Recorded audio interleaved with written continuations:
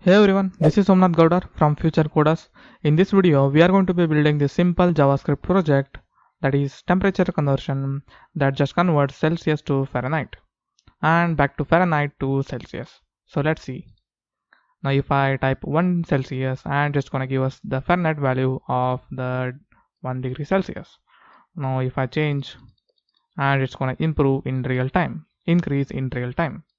And if I say let's say 100 Fahrenheit it's gonna give our Celsius value of 100 Fahrenheit. So guys this is what we will be building in this video.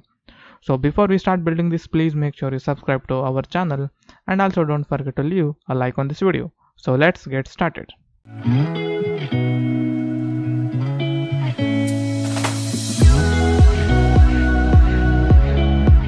Okay now inside of Visual Studio Code I have already created a folder for this project and I have created three uh, files that are required. One is index.html, styles.css and the script.js file. So let's define our boilerplate of HTML by pressing exclamation and hitting enter. I'm gonna name the title as simple temp conversion and let's also link our local CSS file styles.css and let's also link our script.js file javascript file. Okay once we do that let's start building it. Right click and open with live server. If you are if you don't have this option make sure you install an extension called as live server from the extension marketplace. That's going to be not liver live server. Okay this one. Okay now right click and open with live server. Wait for it there we have it. Let's make this a little bit smaller. Okay. Now let's begin building this project. First off uh, inside the body i'm gonna create a container. Say i do with the class name of container. And inside the container we are gonna have two separate containers. One for celsius and one for fahrenheit. So here i will define cf meaning Celsius to Fahrenheit in short CF okay. Now inside this we are going to have a label and that's going to be for Celsius.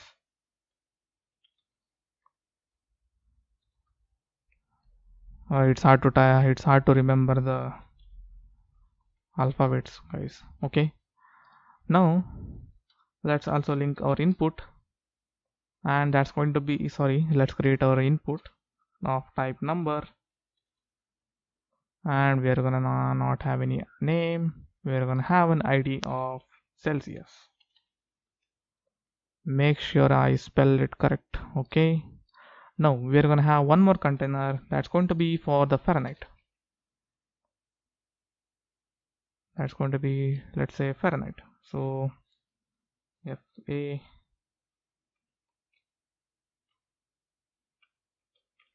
i think it's I spelled it correctly.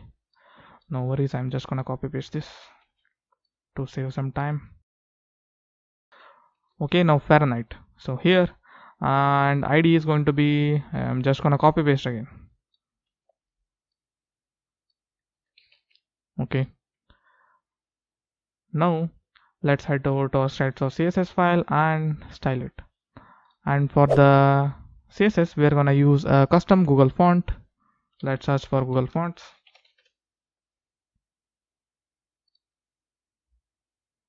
And here i'm gonna use uh let's search for mono. Okay this one roboto mono. And i'm gonna need the medium this one medium 500 let's import let's copy this import code. Okay that's it. Let's close this okay now let's the by default the browser applies some default margin and padding. So we need to get rid of that.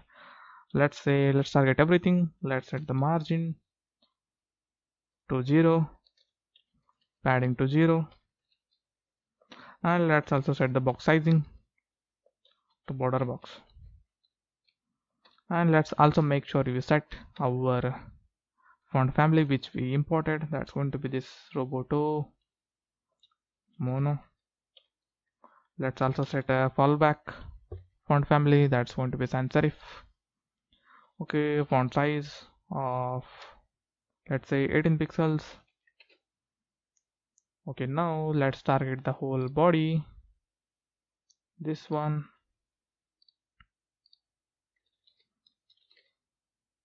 Let's say height of 100 view heights. Background color to this color I found. This one a 8 8b 7e okay. This one. Okay to make them align centrally vertically and horizontally let's say display of flex align items to the center and justify content to the center. Okay now they are perfectly aligned in the center.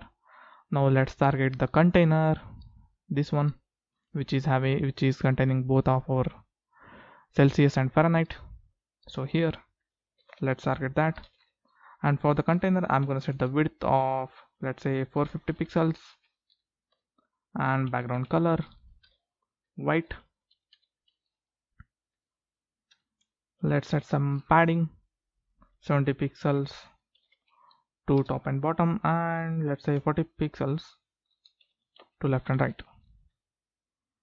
And I need to actually set the box shadow of 0 20 pixels 25 pixels and RGBA value of 0 0 0 and alpha value of not 0 0.25 okay. Okay. Okay. Let's continue. Let's set the border radius of let's say 8 pixels. And display of flex justify content to space between. Now let's target the this one cf container.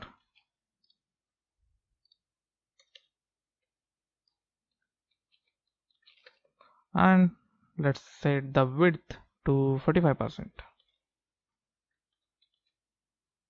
okay. Now let's target the input. These both inputs it's gonna target our both inputs. Over here I'm gonna set the width to 100 percent height to 50 pixels. That's looking great now. Let's also set some border radius of let's say 5 pixels. Okay why is it looking weird? Okay. Border radius of 5 pixel. Let's also set the border. 2 pixel solid. This one d2 d2 d2 little bit grayish. Okay. Uh, I'll just I'll fix it. Don't worry. Let's say outline of none. Okay now we have no outline let's set the margin to the top of 8 pixels. And of padding of 0 and 10 pixels. Okay. Now let's head over to our script our javascript. So we need to have access to whatever we type here right?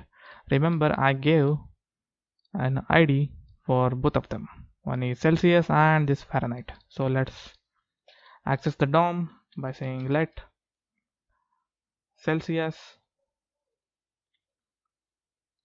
2 I need to have access to that by saying document dot get element by id and I gave it an id of celsius okay now we have access to that. Now let's also we need to have access to that fahrenheit. Whatever we over this one right? Whatever we type we need to have access to that. So here i will say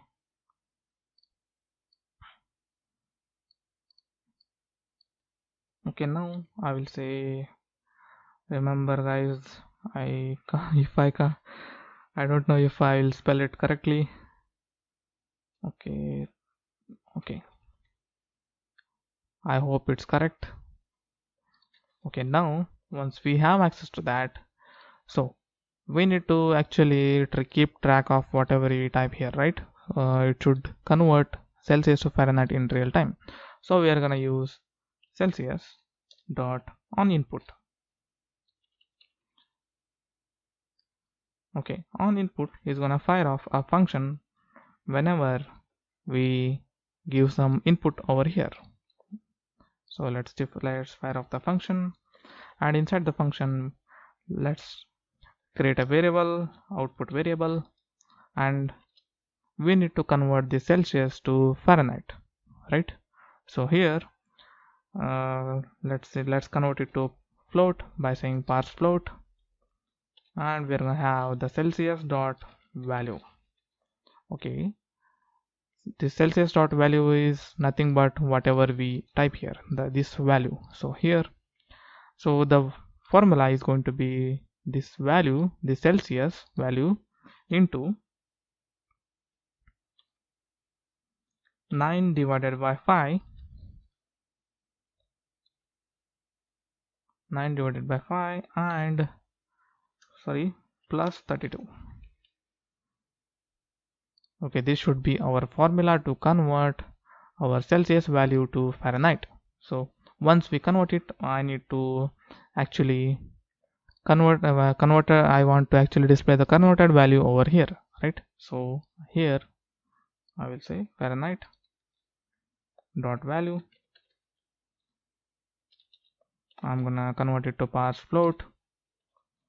And I'll output to fixed this 2 fixed is gonna convert our decimal value to to two decimal points. So here now if I type something over here this is gonna give us the Fahrenheit value of 1 degree Celsius and I can do it.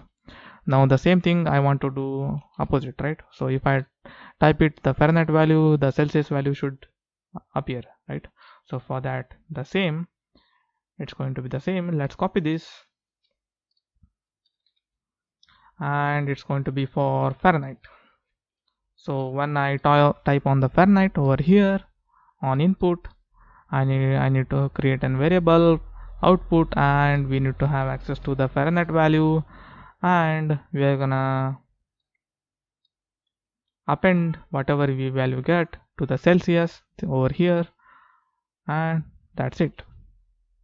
Okay now if I say okay we need to actually need to change the formula also. We can't use the same formula right? So here the formula for converting the Fahrenheit to Celsius is going to be minus 32 into 5 divided by 9 mm, okay it's going okay I need to actually close it over here. Okay now now if I type here as you can see it's giving me the Celsius value of Fahrenheit. If I type here this is the value of Fahrenheit. Okay if I type uh, let's say 60 sorry 67.2 okay that's looking great.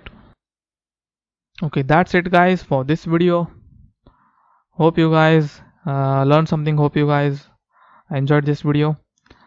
Uh, don't forget to leave a like on this video and also don't forget to subscribe to my channel for more videos like this so i will see you in the next one